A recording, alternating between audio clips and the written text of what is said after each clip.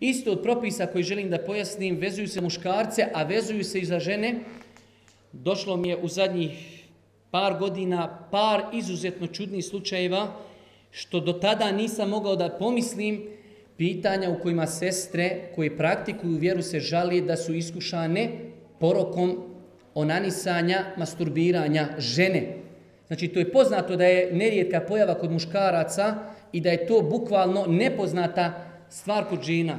I toliko sam bio iznenađen od osoba koje odmah u uvodnom dijelu teksta ti kažu praktikujem vjeru i pokrivena sam i klanjam i imam problema sa tom znači, situacijom do te mjere da su to nekada pošasti koje insan vozi sa sobom godinama.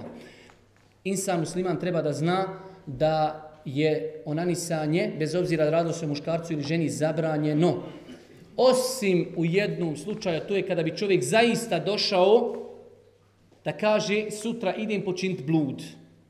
U takvoj situaciji manje je zlo da počini, znači masturbiranje ili onanisanje, nego da počini blud, ali se ne smijemo igrati sa tim, svako će onda doći kad Boga mene došlo do ja sutra planiram ići zinalčiti. S druge strane treba poduzeti sve što će nas odvesti od toga. Pa znači preporučuje se brak za one koji mogu, a sutra ćemo o tome govoriti, da su islamski učenjaci kazali da brak može biti vađib.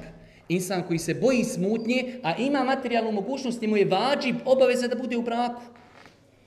Znači, stupanje u brak, čuvanje od raznoraznih pogleda, od hodanja, društvo, lijepo društvo, hrana i sjećate se, govorili smo dole u Fahdovoj džami, energiji, drinkovi i šta ja znam ostalo, sve nešto što se može popiti. Čovjek se naruča hrumašica, čita u tepsiju i kaže poslije imam problema. Normalno će imati problema. Uzmi jedan kupusov list, tu tri dana pojedi pa švita, bibio će ti biti čega.